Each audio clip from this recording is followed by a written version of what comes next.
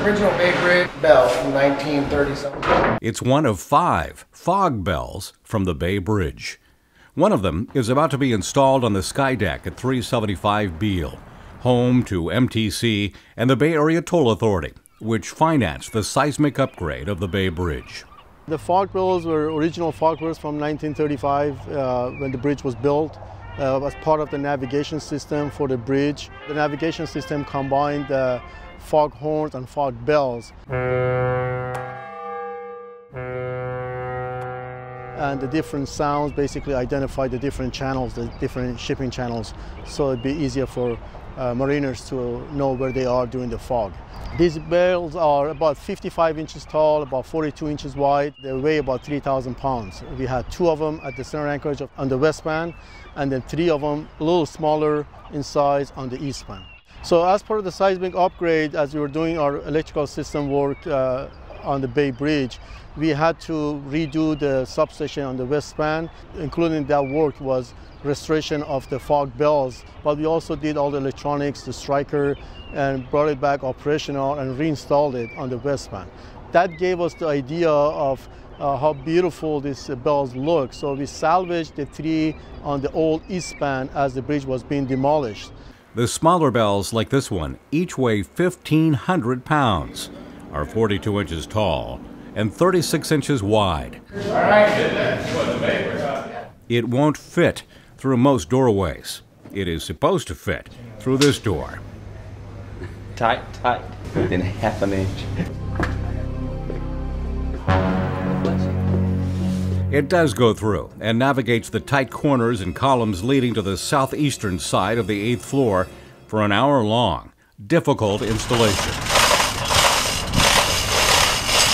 Until now, the shiny brass had never really been seen. When they were installed, the bells were painted gray to match the bridge.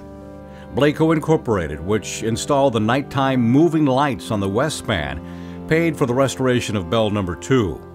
Bell number 3, as you can see, is going to 375 Beale at MTC. Bell number 1 will go to the bridge yard, the old Bay Bridge commuter train storage building, which is being retrofitted to become a museum and training center.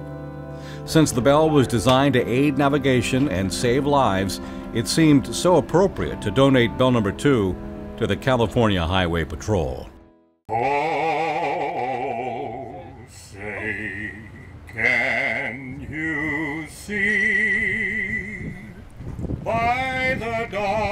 Since 1929, the Golden Gate Division has lost 37 officers. Statewide, the CHP has lost 226. The bell, which rang true for saving lives, now eternally helps remember lives lost in the Golden Gate Division. The family of Sergeant Richard Trembath, Can you please stand? 37 families are represented here. 85 year old Phyllis Hebert remembers her dad's death vividly.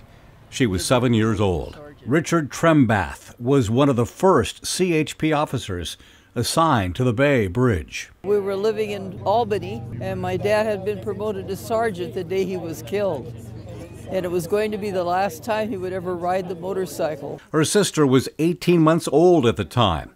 Her memories are tied to family pictures. So I could look at his picture and get a sense of what he looked like. Richard Hebert is the grandson. Richard Trembath never knew.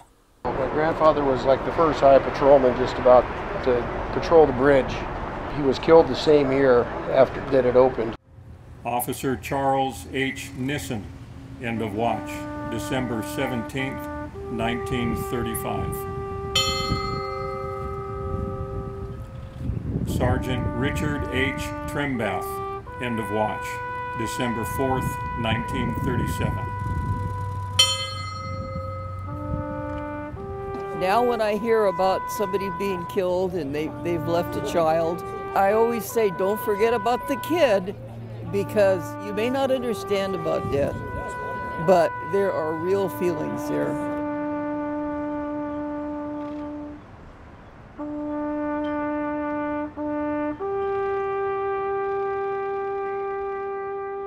Danny Cesena did his part to honor the fallen officers and to honor the history of the bells. This is my dad. Hi. He has no idea why he's here yet. He's the guy who's been restoring the smaller bells Come on, father. from the eastern span of the Bay Bridge and is here now to polish the bell at 375 Beale in time for the building opening. He's proud of his work. Like it? Yeah. Very nice, huh? If there's one person in the world he wants to impress, it's his 76 year old steelworker father. The work involved doing this bell. He told him they were going fishing so he could surprise him. Just start polishing. Just rub it on. You do your half, we'll do a competition. I take care of him, takes care of me. We had a great, great amount of time on the bridge, and it's, a, it's been a pleasure. It's been a part of history. This is the easy part. The hard part was getting it to this point. When I start polishing it, I started with the rough to break it down, and as I was getting closer to the finer paper and trying to get it to that shine, it's a little at a time you could see my face. I'd look, no reflection, look. Then all of a sudden, after I got to towards this part, it's it's awesome. Underneath this was obviously something better, and I was glad to show, to show it and display it the way it should have been. It's really beautiful, beautiful work. Wow, that's loud.